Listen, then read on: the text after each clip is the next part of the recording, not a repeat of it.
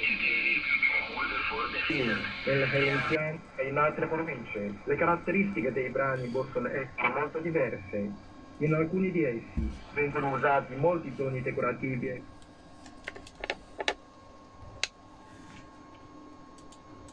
Altri ancora sono rilassanti e liberi, adatti a narrare e a esprimere sentimenti. I brani sono spesso caratterizzati da un apparato testuale scarno. Aumentano la tensione della melodia musicale e hanno un immenso fascino. Le composizioni sono descrittive, ruotano intorno al mondo delle praterie, al cielo azzurro.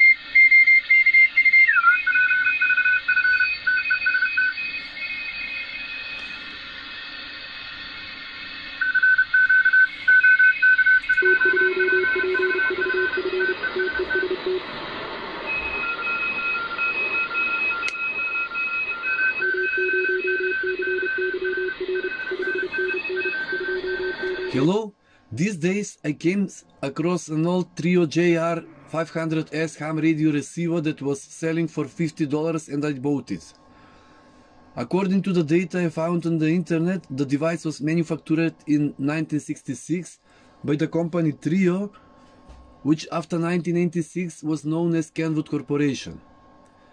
At the time it was produced, it was advertised as high performance communication receiver made especially to cover cover the amateur bands between 3.5 and 29.7 MHz. And as always, after the first power up, the receiver did not work even I through I received assurances from the seller that the device was fully functional. In the development of this project, I was helped by PCBWay, which is one of the most experienced PCB manufacturing company in China in field of PCB prototype and fabrication. If you want to make your own PCB for this project or for any other electronic project, PCBWay is a great choice. They have a large online community when where you can find the open source project and you can also share your project there. From my personal experience, I can tell you that on this community you can find many useful projects with already designed PCBs from uh, where you can place an order directly. Also, you can get 10 PCBs for only $5. So if you want your PCB, just type pcbway.com on your browser. At first glance, the radio is in excellent condition, the interior was full of dust and visually I conclude that it has not been serviced or, or modified until now, which is a great sign.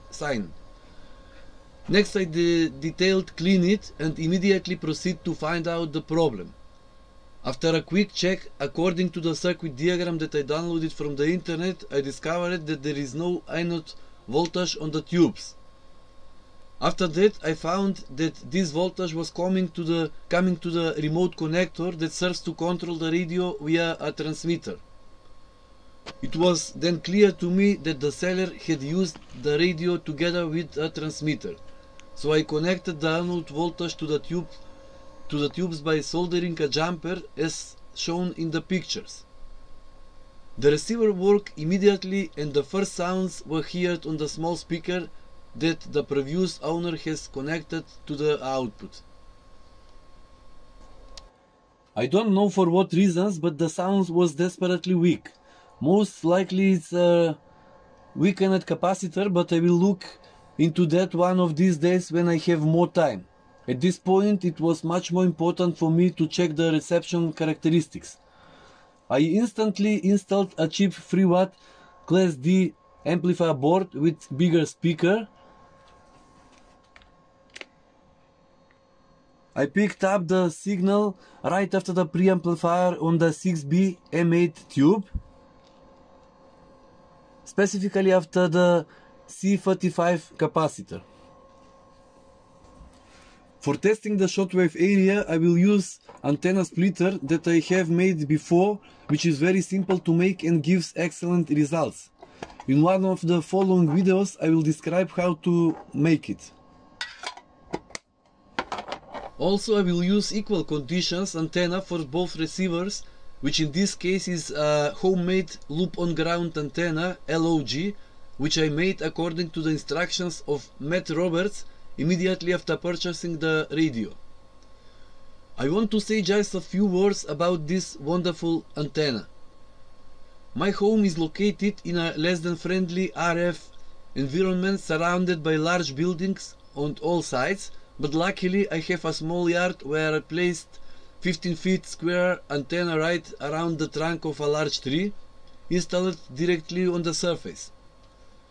I still can't believe how good Futures has this antenna. First of all, the construction time is less than an hour and from the material you need only insulated wire of suitable length. I have installed several type of antennas on my roof, included mini whip, long wire antenna with antenna tuner, small loop active antenna, but the last LOG antenna is definitely my favorite.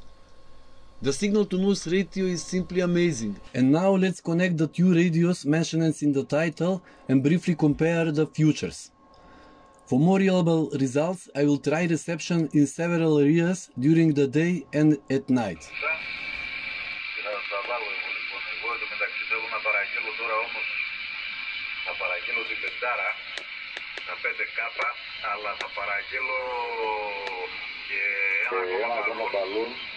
这车我车牌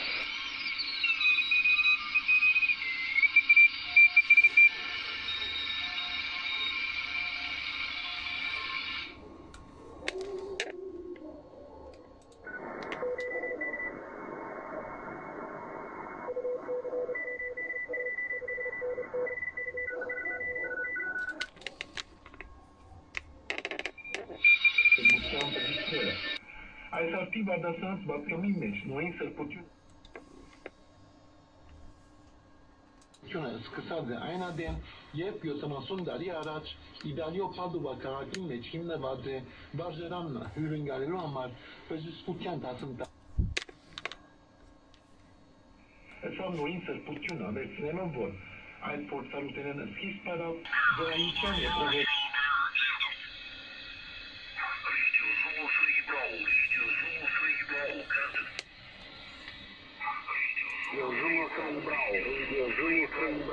Central, Kansas.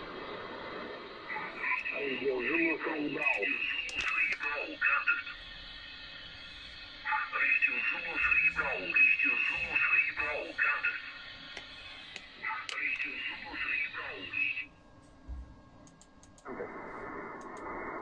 Radio Zulu Cerebral, Radio Zulu Cerebral, Kansas. Radio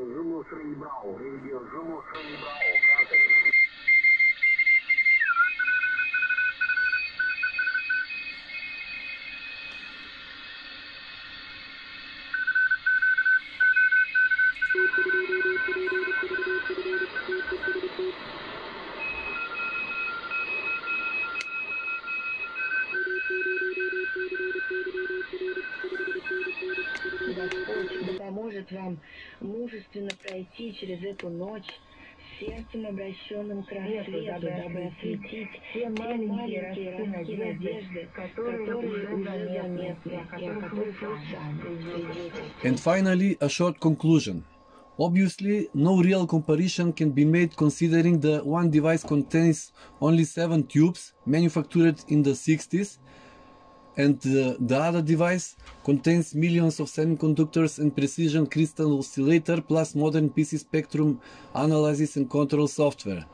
The software contains countless options, including continuous scanning of the entire shortwave range, step size demodulation of all types of types of analog and digital signals, many types of filters, change of AGC parameters, RF gain control, and many many more.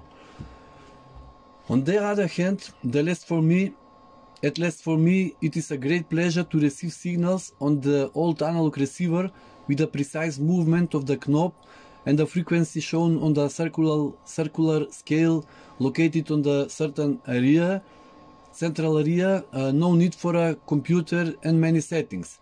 It is just, it's just a matter of plugging in antenna and turning the dial. Of course, the reception is significantly weaker, but it's my great pleasure, great pleasure to have another wonderful retro receiver in my collection.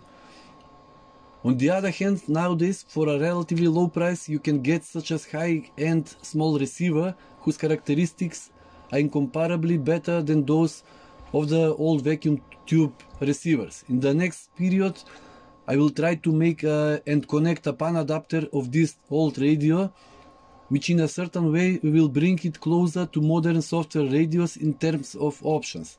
Of course, if I succeed, I will present the results on this channel.